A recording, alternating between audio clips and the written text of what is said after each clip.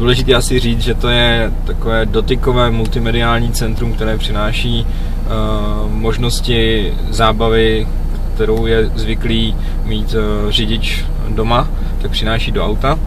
Takže například dotykově se dá ovládat multimédia, rádio, média znamená ať už MP3 nebo různé streamování nebo CDčko. Může si přes USB dát například obrázky, a který se dají třeba i navolit jako, jako eh, tapeta vlastně celý toho systému, nebo se dají prohlížet fotky z USB nebo z SD karty. Video to umí přehrávat, to znamená nějaký takový ty základní, uh, základní videoformáty, Windows Media Video, MP4, uh, H264, ten základní a samozřejmě různý nastavení. Ty videa se dají prohlížet jenom, když auto stojí, takže to je z důvodu bezpečnosti. Uh, navigace, tak jak Renault uh, mívá, je to vlastně ve spolupráci s, s společností TomTom, kde vlastně i v průběhu vlastně to první aktivace se dá využít záruky nejnovějších map, to znamená po připojení k počítači udělat aktualizaci a stáhnout nejnovější mapy s tím, že jsou tam zakreslené vybrané body zájmu, takže například vidíte tam dealerství Renaultu, dá se pohled ať už ze zhora nebo 3D, prostě standardní fungování navigace. Je to jiný jenom v rámci toho, že, že se vlastně dá nastavovat dotykově například cíl, adresa, země a tak podobně. Další vlastně z těch eh, podnabídek, které tam jsou, který jsem zmiňoval, je telefon. Telefon je samozřejmě potřeba nejdřív spárovat, takže přes Bluetooth eh, se, se dá připojit.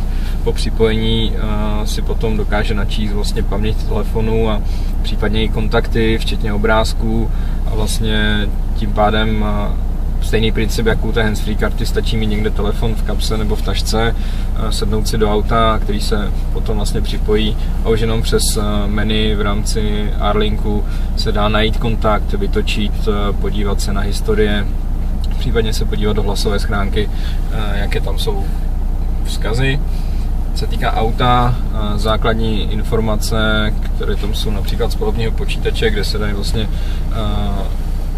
nadefinovat eh, přímo od jakého data, například sleduje, ukazuje to mm, celkovou vzdálenost, průměrnou rychlost, spotřebu, celkovou spotřebu, dá se to resetovat nebo se to dá nastavovat vlastně na takový období, jako, jako eh, požadujete, se týká informací, nějaké další nastavení, jako jsou eh, hlasitost například parkovacího asistentu a mm, jsou myslím, že i další možnosti které ještě se tady dají eh, nastavovat. Eh, co se týká služeb, tam jak jsem zmiňoval, eh, Arling Store, který bude k dispozici, mělo by to být v průběhu relativně krátké doby, myslím si, že tak okolo měsíce až dvou, bude vlastně komunikovat Fluence přímo s tím, tím Arling Storem, kde vlastně budou aplikace i třetích stran, které si bude moct stahovat řidič nebo spolujezdec a jsou to informace, které můžou sloužit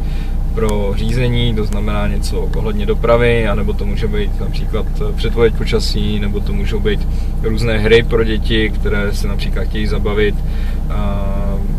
Dá se přesto vlastně řešit i e-mail, to znamená dá se to spojit se svým kontem a vlastně používat v v některých zemích je podporovaný přímo i jazyk, to znamená, myslím, že angličtina, francouzština, němčina, takže se dá ovládat auto i, i hlasem, respektive tenhle ten Arling se dá ovládat hlasem.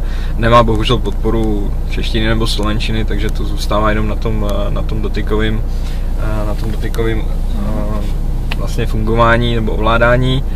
Jednou z, takovou, z takových detailů je například R-Sound, to znamená, že tady se dají nastavit zvuky jednotlivých uh, aut, například Clio V6.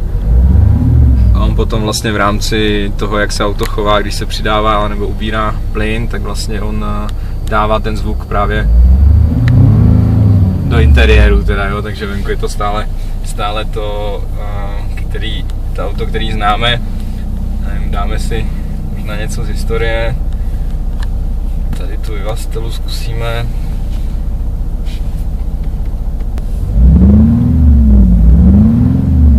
Takže je to vlastně takový, že když si někdo chce personalizovat, řeknu například ten zvuk právě v autě, je tady nějaká budoucnost, motorka,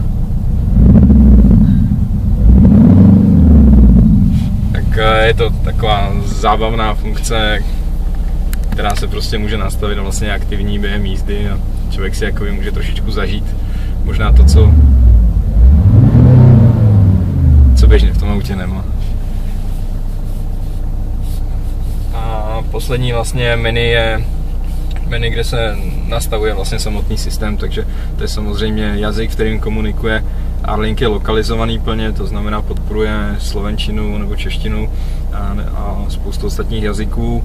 Dají se tam nastavit eh, hodiny, domácí obrazovku, co se bude zobrazovat, jakým způsobem se bude zobrazovat, eh, jestli kilometry nebo míle, ukazuje nějaké informace základní o, o funkčnosti systému, ale například je tady taková kolonka pomoc, která vlastně dokáže ukázat eh, aktuální polohu nebo jakoby třeba nejbližší policejní stanici, nemocnici a tak, takže na cestách na cestách to může být celkem zajímavý.